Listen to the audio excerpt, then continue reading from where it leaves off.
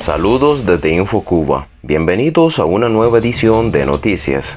Policía retiene guagua en Habana por robo de celular a supuesto ex militar. La policía retuvo una guagua en por el robo de un celular a un supuesto ex militar que viajaba en el ómnibus del transporte público de la capital cubana, según un video compartido en redes sociales. Le robaron un celular a un chivatón en el P11, incluso lo golpea y detienen la guagua durante un tiempo prolongado, haciendo retrasar a los pasajeros, publicó este pasado martes en su perfil de Facebook el influencer Alian Paparazzi cubano denuncian que régimen intenta condicionar libertad de José Daniel Ferrer. El régimen intenta condicionar la libertad del líder de la Unión Patriótica de Cuba, José Daniel Ferrer García, según denuncian familiares en redes sociales.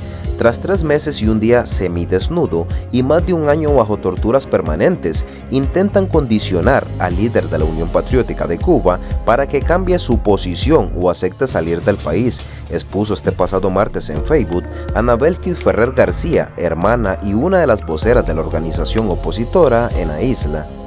Artista y preso político Luis Manuel Otero gana premio de la Fundación Príncipe Claus. La Fundación Príncipe Claus reconoció este 6 de septiembre al cubano Luis Manuel Otero Alcántara con su premio Impacto, mientras el artista continúa preso en Cuba con una condena de 5 años por su oposición al régimen de la isla. El jurado expresó en un comunicado que Otero Alcántara es honrado por su práctica artística extremadamente accesible, honesta y no elitista, y por su lucha incansable por la libertad de expresión en Cuba y su postura contra la censura y la autoridad política. Abajo el comunismo, el grito de una cubana cansada de vivir en la miseria extrema que hay en la isla. Una cubana cansada de vivir sumergida en la miseria extrema de la isla, grabó un video en el que expresó todo su desprecio hacia el comunismo. La antillana gritaba con todas sus fuerzas, abajo el comunismo, y después explica que el pueblo no quiere más al régimen, pero que desea que salgan todos del poder, porque si solo sacan a Díaz Canel, después seguirán poniendo a otras figuras que también le harán daño al pueblo. Vuelve a prisión el activista tunero Yerly Luis Velázquez. El régimen puso de nuevo tras las rejas a Yerly Luis Velázquez Morales y le abrió un proceso de investigación penal bajo un cargo de desacato a solo semanas de haberlo excarcelado.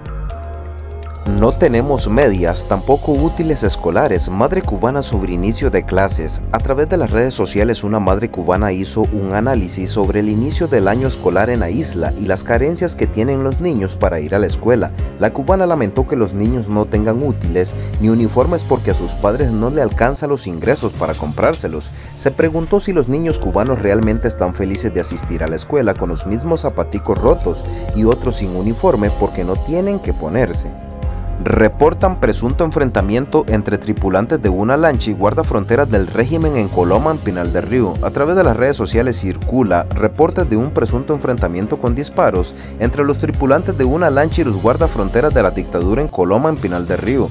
De acuerdo a la información publicada en las redes sociales de Albert Fonse, tras el supuesto tiroteo, varias personas resultaron heridas.